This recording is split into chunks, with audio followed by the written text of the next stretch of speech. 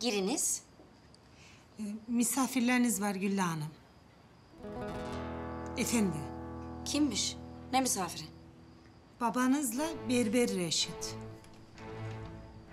İstemez. Defet gitsin. Dur dur.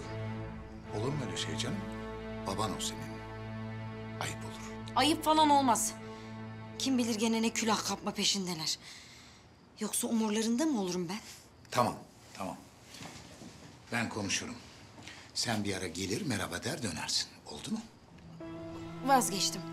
Sen karışma, ben konuşacağım onlarla.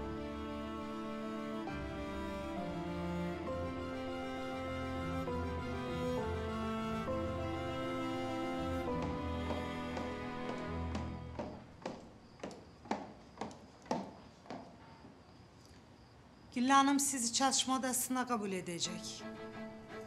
Buyurun, Rica ederim. bırakın onu şuraya. Bırakın, bırakın.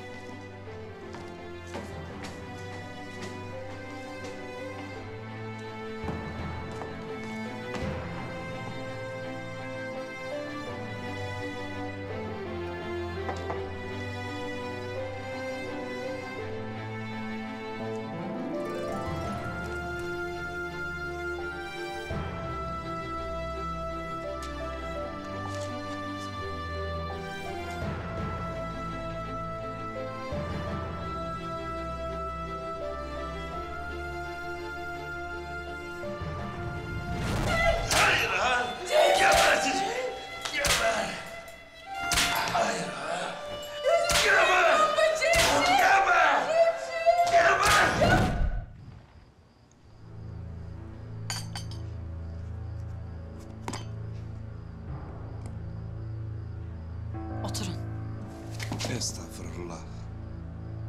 Ne estağfurullah. Oturun hadi.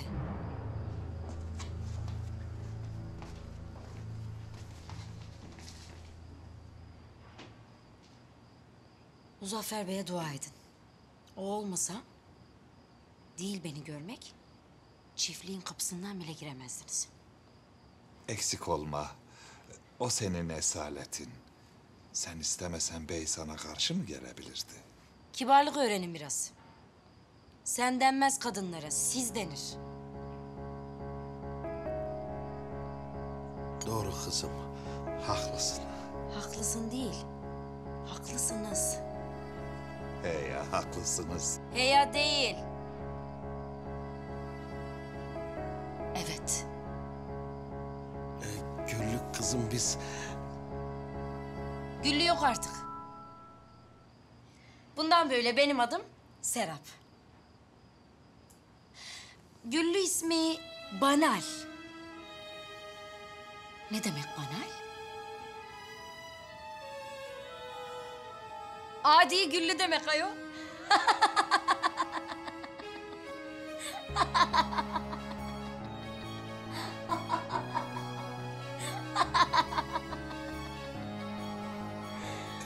İzin verirseniz size bir şey sormak istiyorum. Söyle bakalım. Bizim mazur gör kızım. Baban da ben de cahil insanlarız. Ama ben bu yaşıma geldim.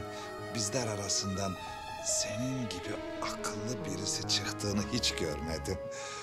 Sen çok maşallah çok akıllısın. Ben zaten bizim avrada da söylerdim. Avrat avrat derdim. Bu kızda iş var. Bu kızın geleceği çok parlak. Tamam. Yeter artık. Belli ki buraya yalakalık etmeye gelmişsiniz. o nasıl söz kızım?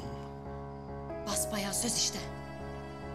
Çıkarınız olmasa, külah kapma derdiniz olmasa, kılınızı kıpırdatmazsınız siz.